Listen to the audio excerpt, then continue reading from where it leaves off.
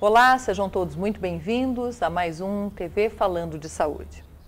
Hoje o nosso papo vai ser com você, mulher, é claro, mas eu convido você a chamar o marido, o filho, porque no programa de hoje eu vou receber o urologista Dr. Amilcar Ruani para falarmos sobre os cuidados, sobre os exames e sobre todos os procedimentos que um homem deve ter a partir de uma certa idade. Boa noite, doutor, seja bem-vindo. Boa noite, agradeço o convite. Estamos à disposição para ajudar na Que parte bom. educativa. Foi importante o que você falou no começo, que você, mulher, lembrar que a mulher ou é casada, ou terá filhos, Uhum. ou tem pai, então para ela também é importante o que nós vamos falar. Claro, e normalmente somos nós mulheres que incentivamos os maridos e os Exatamente. filhos a irem ao médico, né? Exatamente. Doutor Ruani, eu quero começar fazendo essa pergunta. O que faz ou qual é a especialidade do urologista? O urologista, ele é, trabalha com o aparelho genital masculino e com a parte urinária excretora. Existe uma parte urinária que é a filtração do rim. Essa é de alçada, é trabalho do nefrologista. Certo. Por onde a urina passa, e daí tanto homens quanto mulheres, esse é o trabalho do urologista. E o aparelho urogenital, que é o aparelho genital masculino propriamente dito. Ok. Nós terminamos aí o agosto e em muitas cidades é considerado agosto azul, que é para lembrar o homem dos cuidados, do exame, etc. Mas a pergunta que eu quero lhe fazer é assim: com que frequência os homens devem procurar um urologista ou a partir de que idade? Na verdade, não, se a gente se situarmos as doenças, tem idades até quando logo que nasce, né? dependendo da patologia, até desde a idade que nasce, e infelizmente às vezes até a idade do final da vida. Então tem a faixa etária não tem quando ele deve ir. Certo. Quando a gente situar o, o problema de próstata, daí sim, daí a gente Uhum. vai começar a identificar idades. Tá. né?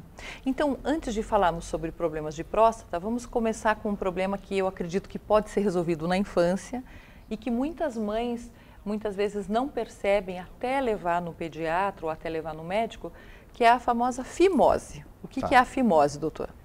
Então vamos é, definir fimose. Né? É, o homem tem sobre o pênis uma pele chamada prepúcio. O prepúcio deve ser no homem normal e na criança normal, desde que puxada para trás, ela deve expor a glande. Certo. Também, uma linguagem mais acessível seria a cabeça do pênis. Né? Aham.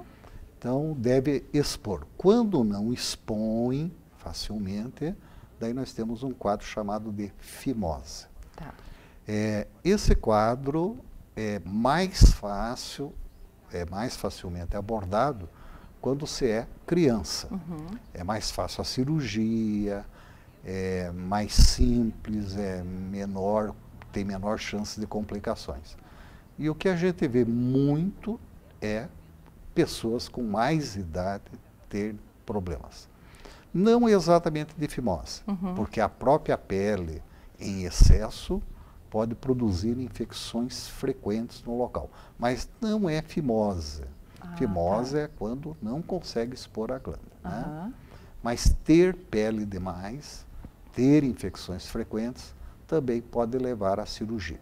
Tá. E para as mães que estão assistindo, para elas poderem identificar, principalmente nas crianças, qual é a característica? O bebê chora na hora de urinar? O, o que, que o bebê sente? Uma possibilidade é o, o bebê chorar na hora de fazer xixi, Uhum. ele urinar em duas etapas. Duas etapas é o seguinte: como ele não consegue é, é, expor a glande, a criança não faz isso sozinha, né? O, o bebê. Então ele urina primeiro dentro do prepúcio, que já é fechado, ou bastante fechado, e depois, numa segunda etapa, é o prepúcio que acaba urinando. Isso deixa no local a urina, a urina é uma substância ácida e pode trazer consequências no momento ou no futuro. Certo. É, quando a criança, por exemplo, fica mexendo muito no local, uhum. pode ser irritação amoniacal só por causa da urina. E tem tratamento ou só cirurgia? É, existem tratamentos, desde que precocemente é, visto por ou um cirurgião pediátrico, ou um urologista, ou uhum. uma urologista, né? É possível tratamento. Não para todos os casos. Certo. Em alguns casos, o único recurso mesmo é a é cirurgia. A cirurgia, a cirurgia ela é até bíblica, né? Uhum. É a circuncisão. Certo. E como que é, é essa cirurgia? Uma cirurgia simples? Quanto tempo para a criança se sentir bem, ou mesmo adulto, se precisar fazer? O adulto tem o problema que ele vai usar de alguma forma o pênis, principalmente nas relações. Então, uhum. geralmente, depois da cirurgia, pede-se para o adulto, o jovem, uhum. não ter é, não ter ereções, apesar que isso é, é, uhum. é, é, impossível de impedir que você tenha ereções, é, porque vai forçar o local da cirurgia e provavelmente vai doer para ele. Certo. Na criança é melhor, porque a criança não tem a ideia da, uhum. da parte sexual. Uhum. Então ele pode ter até ereções, mas é, são ereções quando ele tem mais vontade de fazer xixi, segura uhum. muito tempo. É mais então, suportável então, para a criança. É mais suportável para a criança. E até a recuperação, né, doutor? Até Tudo a recuperação. Que, quanto mais jovem, mais Porque rápido. ele só vai usar o, o órgão para uhum. urinar, enquanto que para o adulto geralmente no período noturno, o homem tem costumeiramente ereções que ele absolutamente nem lembra no outro uhum. dia que ele tem essas ereções. Ele nem controla. Nem controla. Tem tá. duas a três ereções noturnas uhum. e ele não percebe que isso ocorreu com ele. Tá. Alguns, claro, tem sono uhum. leve e tal, consegue. Aí né? até é perceptível. Bem, crescer um pouquinho, o problema da fimose está resolvido. Vamos passar. Deixa eu colocar um, só uma coisinha não, sobre, a, sobre a fimose. Né? É, está provado estatisticamente que aquele homem que faz a circuncisão, uhum. isso não significa um convite para que todos façam, para aquele que necessita. Né? Ele vai ter menor chance de, doen de pegar uhum. doenças sexualmente transmissíveis, é, ele vai ter uma melhor higiene e ele vai ter uma menor propensão para o câncer de pênis. Nossa, que atinge, então ela é ótima. É ótima, uhum. mas sempre com indicação. Certo. Não se opera assim, é, eu quero operar só porque eu não quero ter câncer de pênis. Uhum. Eu não que, eu quero operar porque na minha higiene eu, eu quero utilizar uma melhor higiene no local. Uhum. Então ela tem uma ação preventiva, inclusive no, na abordagem das doenças sexualmente transmissíveis. Tá. Ah, eu vou aproveitar esse gancho que o senhor falou da higiene. É, para as mães que estão assistindo, a gente sabe que na hora de fazer a higiene na menina, o cuidado sempre é maior. Sim. E muitas vezes a mãe, até mesmo por desconhecimento, acabam sendo mais relapsas na hora da higiene no menino. No menino. Tem algum conselho que o senhor daria para as mães na hora de lavar o bebê ou mesmo o filhotinho pequenininho ali, como higienizar bem o pênis? A higienização do pênis seria durante o banho, tentar expor a glande, uhum. mas nunca exagerar na força, porque se exagerar na força, vai rachar o local, vai abrir o local e quando ele cicatrizar, ele vai fechar mais ainda. Ah, né? entendi. Né? Então, sempre primeiro levar ao pediatra. Uhum. O pediatra poderá requisitar a orientação do urologista ou do cirurgião pediátrico para ver se é possível fazer isso do, durante o banho. Entendi. Então você já sabe aí, você já viu um recado do Dr. Ruani que é fazer a higiene do seu filho também com mais cuidado, assim como é feito das meninas, né? Das meninas. Então, antes de a gente começar a falar da próstata e do temido exame de próstata, eu vou convidar a todos a irmos para um pequeno intervalo para ver o recado dos anunciantes aqui da TV Educativa e a gente já volta. Se você ainda não chamou o seu marido ou seu filho, é a hora. Chama ele que no próximo bloco vamos esclarecer um pouquinho e tirar esse mito do temido exame de próstata. Dois minutos e a gente já volta.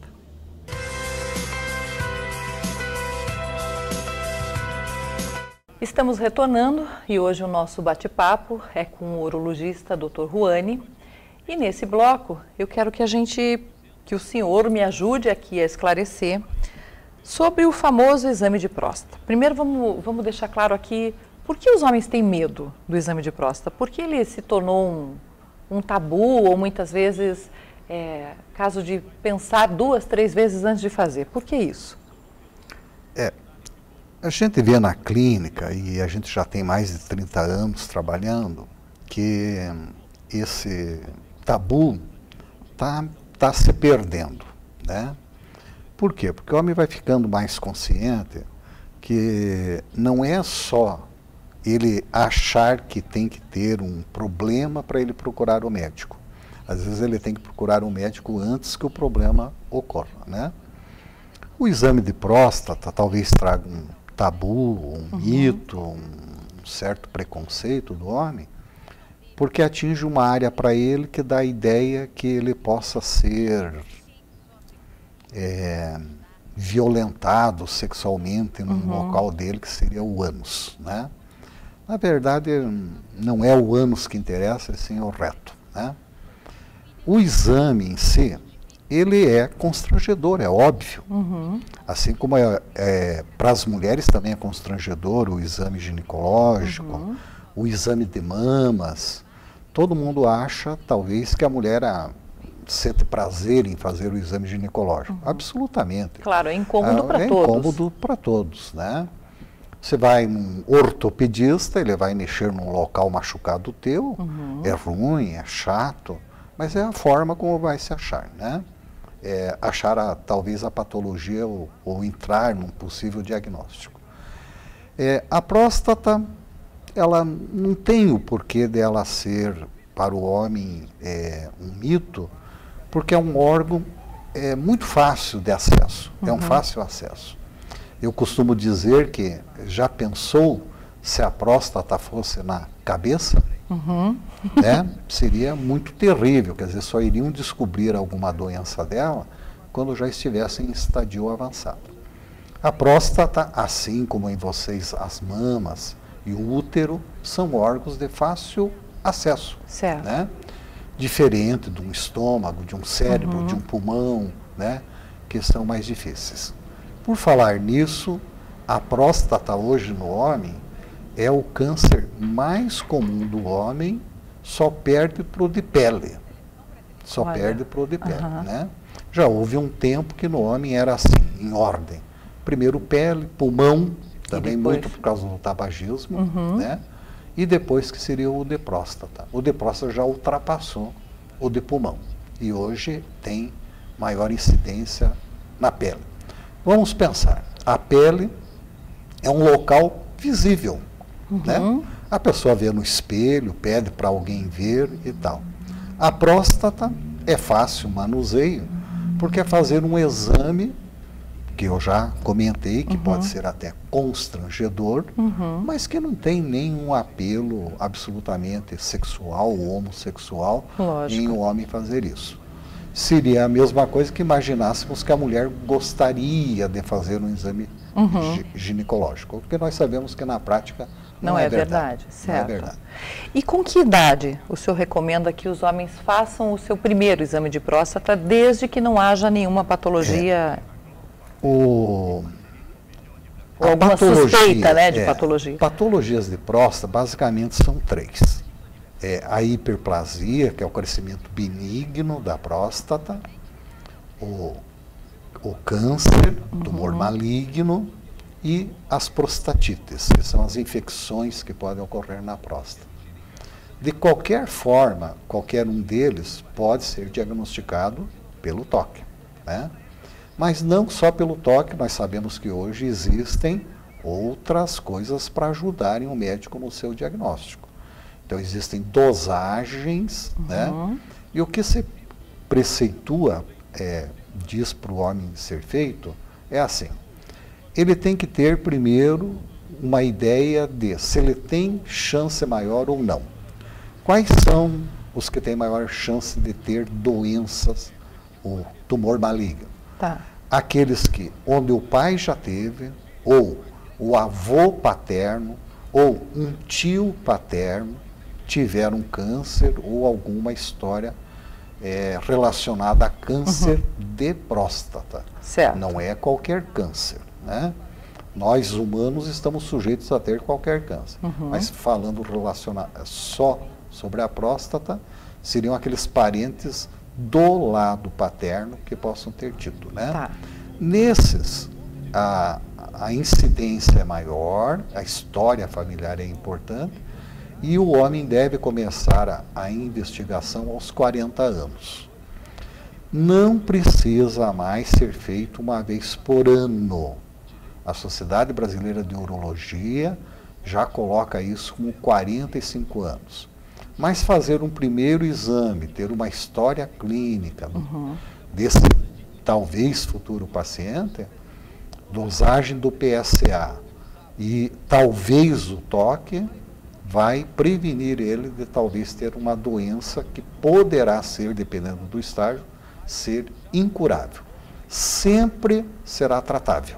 Certo. Mas poderá não ser mais curável, dependendo do estágio. Quanto antes o diagnóstico, mais fácil mais o tratamento. Mais fácil é. Aliás, qualquer câncer, qualquer uhum. tumor, desde que pego no começo, ele pode ser tratado.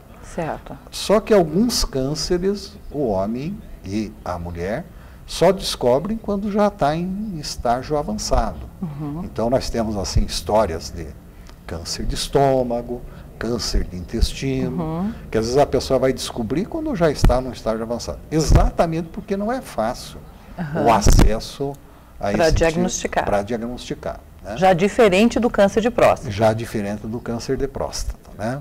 Então, começar aos 40 se tiver história familiar. Uhum. Se for afrodescendente, também começar com 40 anos. É maior a incidência no uhum. afrodescendente. Certo. Também se ele tiver obesidade. O obeso está mais propenso, propenso a, a ter essa incidência. Uhum. Né? Ah, eu sou magrinho, sou branco, então eu não tenho uhum. chance de ter? Claro que tem. Né? Certo. Né?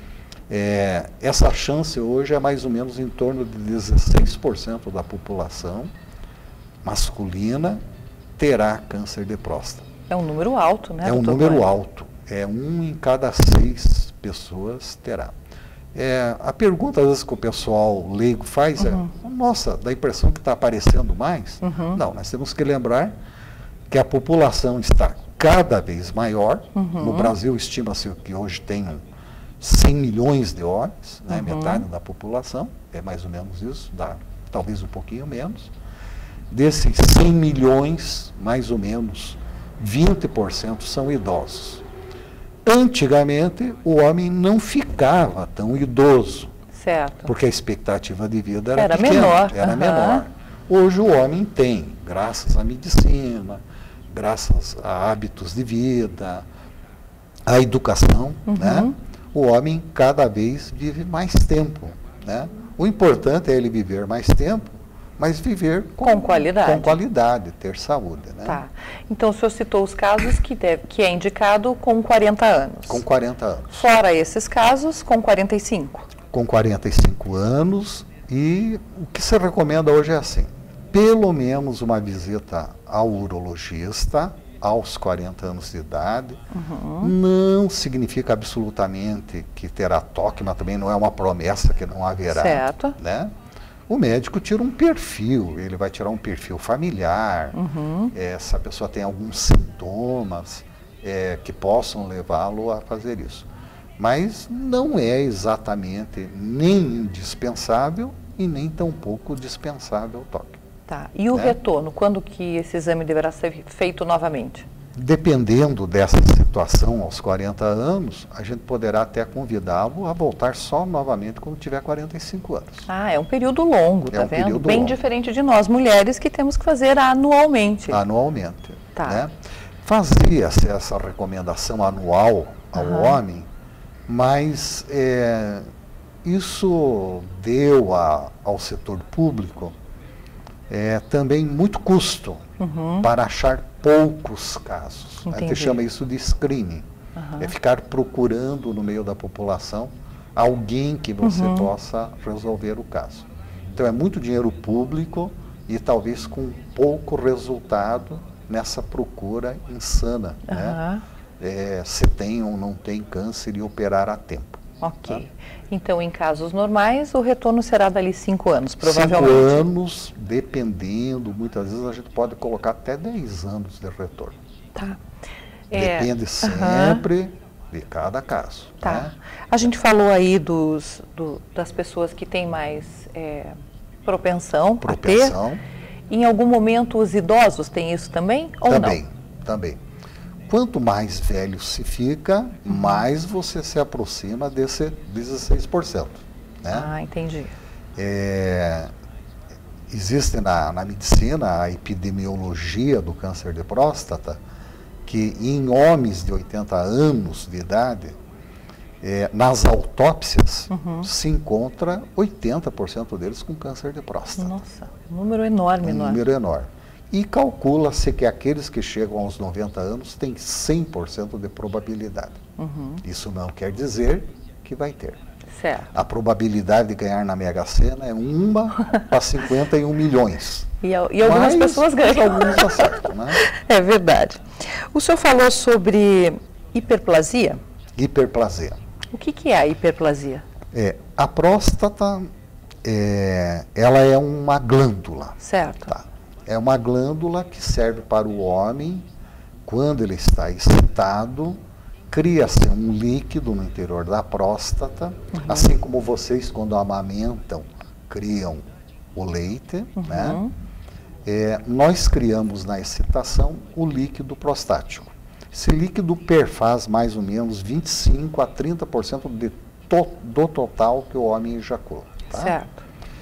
É, então, essa glândula, de tanto trabalhar, de tanto funcionar, pode ser daí que venha o crescimento, a hiperplasia da, da próstata. que significa? Um crescimento. Um aumento. Um aumento, um crescimento benigno. Esse crescimento benigno vai trazer para o homem, às vezes, e ela é mais comum que o uhum. câncer, né? vai trazer para o homem o quê? A primeira coisa que ele vai observar é, que ele começa a ter, por exemplo, vontade de urinar à noite, depois que ele já pegou no sono. Certo. Antigamente ele não fazia isso uhum. e agora ele passa a fazer. Ele faz uma noite, faz na outra, faz na outra, faz na outra e começa a se transformar numa coisa rotineira. Né? É diferente daquele que diz assim para a gente. Não, eu levanto para fazer xixi uhum. à noite, mas eu faço isso desde os 15 Já anos. Já era um hábito. Já crio uhum, um entendi. hábito. Talvez até um reloginho lá que, uhum. que liga ele para ele acordar e, e, fazer xixi. Né? Tem o diabético, que levanta à noite para uhum. urinar. Então, nem sempre levantar à noite significa... Seria um sintoma. Uhum. Seria, mas aquele que não tinha o costume e passa a ter esse costume, tem que pensar que talvez ele esteja ou com câncer uhum. ou com a hiperplasia prostática benigna. Né? Certo. Então, sempre quem vai decidir se uma coisa é, é uhum. sim ou não, vai ser o médico através de exames, da história, que é muito importante. Tá. Né? Também é feito o exame no consultório para saber o que é um e o que é outro. Tem tratamento? A hiperplasia? Ambos, ambos, ambos têm tratamento. Ambos têm tratamento. A hiperplasia tem tratamento, uhum. só que pode chegar um momento em que não é mais possível o tratamento clínico. Tratamento clínico a gente fala que é aquele feito com remédios. Certo. Né? E às vezes acaba é, tendo que fazer cirurgias. Né? Okay. Né? Ó, estamos conversando aqui com o urologista, Dr. Ruani, e no próximo bloco a gente vai falar sim sobre o famoso e temido tumor maligno. Você não sai daí, é dois minutos e a gente já volta.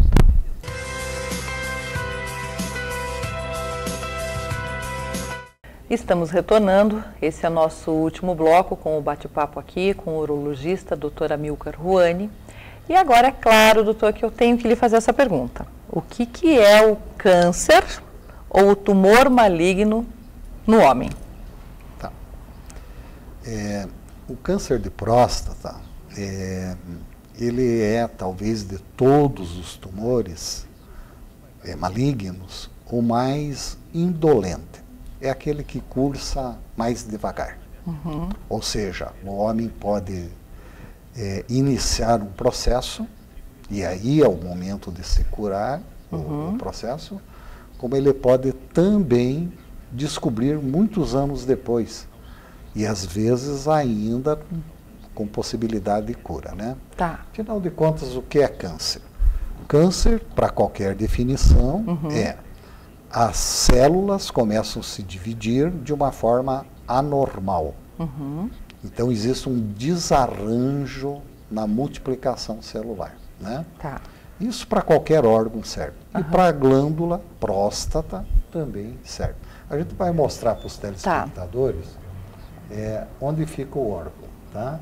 Esse é o órgão chamado próstata.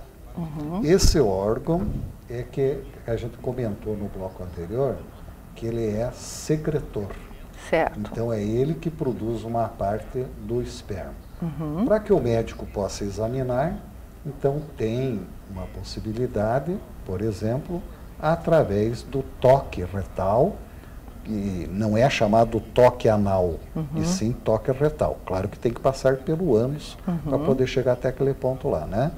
E vejam que é de fácil acesso através da do toque digital, até fala digital porque é o dedo do médico, uhum. que bate nela, é, consegue sentir a superfície dela, a consistência dela e o tamanho dela. É isso que eu ia lhe perguntar. Quais são os sintomas? O que é que isso. no exame o, o senhor consegue detectar? Uma anormalidade é. no tamanho, na espessura? Primeiro, é, o exame, primeiro, ele não é doloroso. Uhum. Ele é chato, ele é certo. é constrangedor. Né? Certo. Mas ele não é doloroso.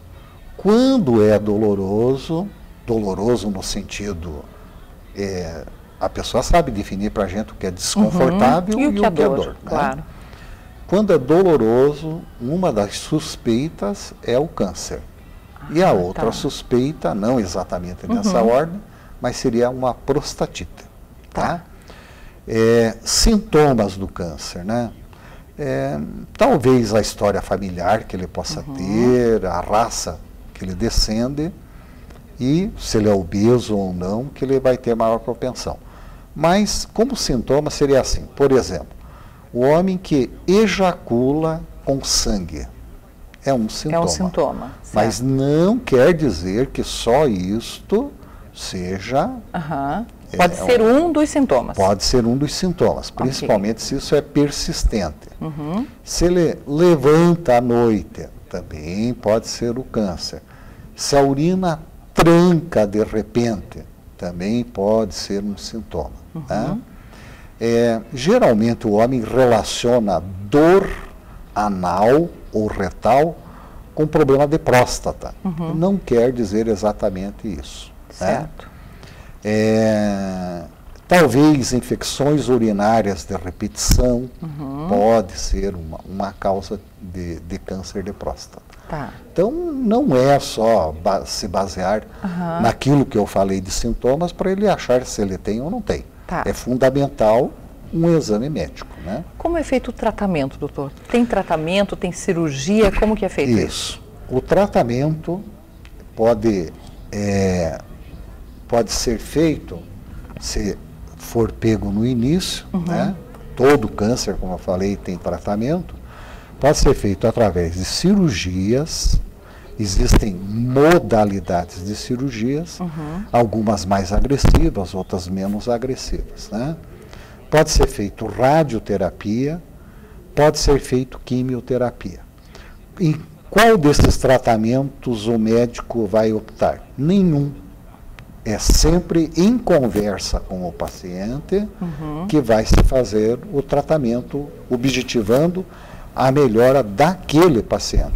Certo. O que, que, é melhor para ele? Não é o médico quem decide. Quem uhum. decide é a conversa do médico junto com o paciente. O que, que uma traz de benefício, de malefício e assim por diante. Depende muito da idade do paciente. Uhum. Se um paciente tem 89 anos, tem uma é, uma expectativa de vida, ele já passou do ponto da expectativa de vida, né? Uhum. E nesse homem talvez não precise fazer nada. Certo. E em alguns pacientes tem um outro tratamento também que é chamado vigilância. Uhum. Você só fica observando. Por quê? Como eu comentei no bloco anterior, a, o câncer de próstata é um câncer indolente, ele é uhum. muito devagar. Certo. Então, é, dependendo da idade do dependendo paciente. da idade, de como o médico classifica esse tumor, uhum. é, através de exames, através de biópsia, ele poderá até optar em fazer uma vigilância ativa. Quer dizer, fazer exames mais sequenciais, uhum. mais perto um do outro, até que se decida pela cirurgia ou uhum. radioterapia ou quimioterapia. Tá. A quimioterapia é interessante. A quimioterapia é a única quimioterapia que não faz cair o cabelo. Ah, né? não? Não. Mesmo porque nós já somos meio predestinados a perder o cabelo. Se cair, ninguém vai perceber. Ninguém vai perceber. no homem é uma maneira mais sutil, né? É, porque sutil. normalmente os homens, é. com o passar dos anos, vão perdendo os cabelos. Isso. Só para a gente terminar esse nosso bate-papo, doutor Juane, em caso de pacientes mais jovens, com esse tratamento e com a cirurgia, câncer de próstata tem cura? Tem cura tem cura, existem estudos mostrando que pacientes há mais de 15 anos já submetidos à cirurgia, 20 uhum. anos, e que não houve recidiva do, do tumor maligno. Tá. Né? E para terminar, eu faço uma pergunta diferente. O câncer de próstata, se não tratado ou não cuidado, pode matar? Pode e mata. Mata, né? Uhum. É, a morte pelo câncer de próstata é, todo câncer ele poderá dar metástase, que seriam uhum. ramificações, né? brotinhos uhum. do câncer. Né? E uma coisa que é dolorosa no câncer de próstata é o tumor ósseo. É o, a, uhum. a, é a, o tumor infiltrado no osso. E a dor óssea é uma das piores dores que existem. Né? Nossa, terrível. É, especificamente assim, morrer pelo câncer, não se morre mas ele vai atingir órgãos, uhum. né? Que nem ossos, pulmão, cérebro, e que esses é que vão fazer a pessoa e perder a vida. Vai ser fatal mesmo. Vai ser fatal. Então eu acredito, doutor Ruane, que hoje o nosso alerta aí para todos que estão nos assistindo, tanto as mães, tanto os homens, filhos, maridos, é que se cuidem, né? Que, que procurem o seu urologista, que façam o seu exame, que percam esse medo é, a gente considera que é um. É, a gente. Claro que se criam piadas em cima uhum. disso, mas hoje a gente vai fazer palestras em alguns locais e ver que os homens já estão bem mais conscientes, né? Que é realmente um exame bastante simples. Não, uhum. não tem o porquê de ter esse preconceito em relação ao exame. Verdade. Se nós mulheres fazemos regularmente, por que não os homens criarem esse hábito? Sem dúvida. Ainda mais que para eles o tempo, o período que se pede novamente é bem longo, né? Bem longo. Bom, quero agradecer muito a sua presença aqui hoje. O senhor vai ficar me devendo mais uma vinda, porque ficaram várias perguntas em aberto, inclusive sobre as doenças sexualmente, sexualmente transmissíveis, que a gente não teve Eu... tempo. Eu né? virei em outra oportunidade. Para a gente fazer um alerta aí à população. Tá legal. Tá bom? Muito obrigada pela sua eu, presença. Eu que agradeço a e, oportunidade. E eu quero agradecer a você de casa, é claro, pela oportunidade de entrar aí, levar informação, levar conhecimento, que muitas vezes ficam escondidinhas, guardadas, as pessoas têm medo de falar. E fica hoje o alerta aqui do programa Falando de Saúde para você cuidar dos seus entes queridos com amor, com carinho e alertar principalmente os homens que são mais relapsos, que se cuidem e que façam os exames. Hoje é terça-feira, é, o nosso programa fica por aqui. Ontem foi aniversário do nosso diretor, Guilherme Picunas. Quero mandar um abraço, os cumprimentos do programa, é, agradecer a oportunidade de estar aqui levando até a casa das pessoas profissionais que trazem informações. Obrigada, Guilherme. Feliz aniversário atrasado. Quero agradecer a Ideato Acrílicos e ao Armazém do Marceneiro, que decora o nosso estúdio, e principalmente a sua audiência. Espero você na próxima terça-feira, assim, coladinho com o final do horário eleitoral. Por enquanto, estamos entrando às 9h20. Logo, logo, depois das eleições, voltamos para as 20 horas. Obrigado pela sua audiência. Fiquem todos com Deus, saúde e paz. Tchau, tchau.